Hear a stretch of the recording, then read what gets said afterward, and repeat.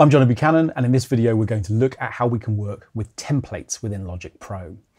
Sometimes you want to open up a brand new Logic project, be greeted with an empty screen, and to start building sounds for a project from scratch. You might not have a clear sense of the track you want to work to. You might not have a clear idea of the um, palette of sounds you want to use, let alone any of their mix settings, effects, all of that's further down the road. But sometimes we like to work with a group of sounds that we already know and trust. And particularly, the best way to think about templates and the value of them is to imagine for a moment that you've been asked to compose a, an orchestral score, maybe for a film, and you need to temp it out with MIDI instruments. If you know that, you're going to need a piano, violins, violas, cellos, brass, percussion, and every single new cue that you start is going to need those instruments. You're going to spend an hour in a day, maybe, setting up those instruments from scratch at the beginning of every single session that you start. It makes much more sense to build that project once, save it as a template so that you're then in a position to recall it and start from a set group of sounds every single time you work. And in this uh, video, what we're going to do is to find out exactly how we can go about building templates of our own. So what I've done is I've started by setting up one completely empty software instrument track. There are no sounds assigned to this project. And what I'm going to do is to start thinking a little bit about the sounds that I might want to work with. So I'm going to use the library option within Logic here. And what I'm going to do is to start by saying, okay, well, I like to write at the piano. So I'm going to select the Yamaha Grand Piano and that's here. And as we're used to within Logic, not only is that loaded a sound that I can play, I've also got some effects that have been added to the project as well. And so straight away, I've now got my first sound um, and an instrument that I can begin to work to. Okay, so what I'm then going to do is to double click to set up another instrument and maybe this time what I want to do is to use some strings. So I'm going to come into the orchestral options, I'm going to come into strings, and I'm just going to find maybe a string ensemble sound which um, can sit here as well. And I can go through and continue to populate this project with new tracks. Now, it seems to me that probably already, if I was working with these two sounds side by sound, the piano's at a volume I like and the strings are too loud. So the next thing I can start to think about configuring within this project would be to set some mixer settings, which are maybe a little bit more appropriate. Again, I don't want to have to open my template project and immediately reach for the string fader and turn it down. If I know I'm doing that every single time because it's always too loud, I might as well make that part of my template. And similarly, there might be reverbs or effects that I particularly like to use. I might think, right, actually, in addition to these two that have been set up automatically, I might decide that I want to set up an auxiliary bus, bus number four here, which I might put a delay on. So I'm going to come down here, come into tape delay and set up this tape delay within this project. Now I can either keep this window open or I can close it. Why am I dwelling on that particular point? If I leave it open, it will be open every single time I open this template. Every single setting you set within your Logic project will open the same way every single time. So what I need to do, I want to make sure that this window isn't always open. I'm going to close it, but I'm also going to close the um, browser here. I also want to remember that this new auxiliary that I've set up is a delay, so I'm going to name it.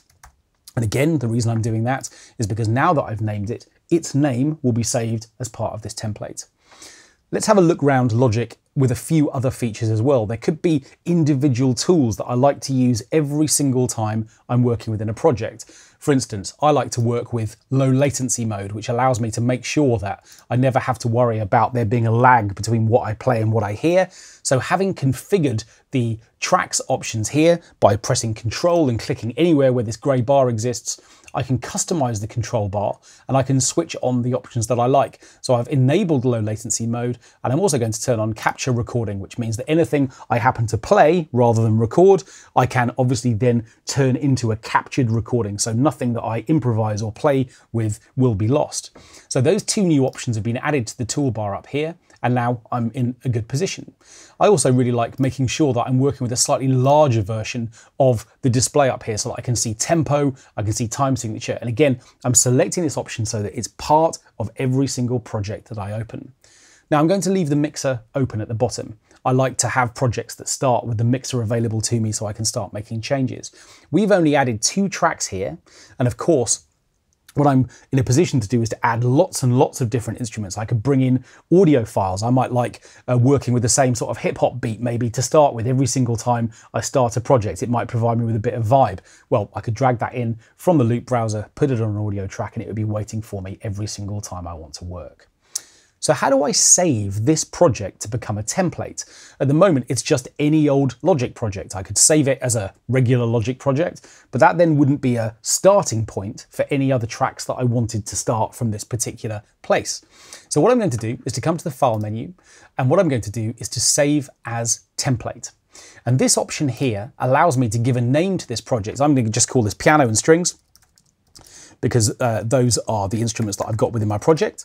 I'm going to just give it this name and then I'm in a position to save it. So when I press save, this project is now going to save as a template. And we're just going to have one last look around. A couple of things we're going to notice. So for instance, at the moment, I've left a string ensemble as the track that is currently selected. And the reason why I'm drawing your attention to that is because when I close this project, what I'm in a position to do when I uh, reopen it as a template is to notice that exactly where we left the project is where we're going to start it. So if I come to File, what I can do is I can um, create a new project from template, this second option here. And when I select this, up comes my individual templates, which are over here on the left-hand side. So I could start from an empty project or from a live loop session, but also I've got my templates, which are here.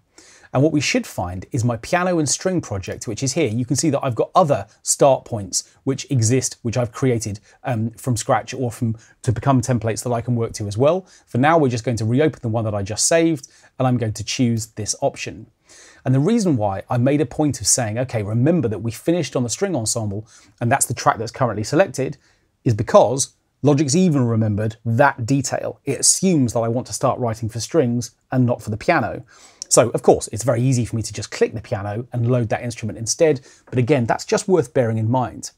Now, before we do click the piano, what we're going to do is to note a couple of other things. You'll notice that down at the very bottom of the project, because the string ensemble track is currently selected, not only is its instrument live, ready to play, so are its effects and so are the auxiliary buses which are assigned to this particular instrument.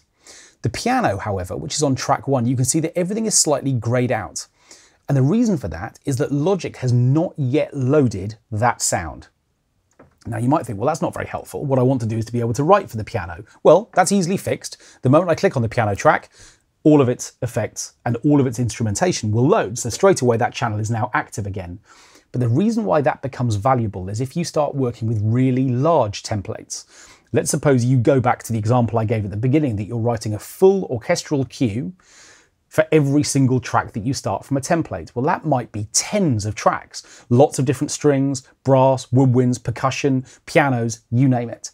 So the reason why those sounds aren't default, uh, default set to load the moment you open the entire template is because it could be that you don't need every single instrument every single time. So rather than Logic loading all of those and you waiting a long time for the template to open, instead it opens very quickly and you can then select each track that you need on a per track basis. Let me show you what I mean. What I'm going to do is to show you, I'm going to close this particular project, we don't need to save it. I'm going to open again from template, and this time I'm going to open my full orchestral template, which is here, which is a much more involved arrangement. I'm going to open this from scratch, and you can see that very quickly this project has opened. Now it's done that despite the fact that within this particular project, there are literally hundreds of tracks. Now what I've done, let's take the pianos as an example. What I have done is to create a um, a track stack for all of the pianos that I might want to use within a particular project. So I might want to work with this piano called Emotional Piano, which I really like, or Una Corda, or uh, VSL's Imperial Piano, or this muted piano, um, which is a Spitfire audio sample. Those are the four pianos that I like writing with, and depending on the type of music that I'm working with, I'll choose an individual piano sound. Now at the moment, if we open the mixer, we'll see that none of them are currently loaded. Here are all four of them, but none of them have yet been selected. So if I decide that I want to load Emotional Piano, when I click on that track, it will load that particular plugin. And it might take a moment because this is an instrument that's loading into Kontakt rather than just being a Logic instrument. But you can see that that track has automatically um, come alive. It's loaded. So this sound straight away now is loaded, but it's the only instrument that's going to make a noise if I start playing instruments uh, within this project.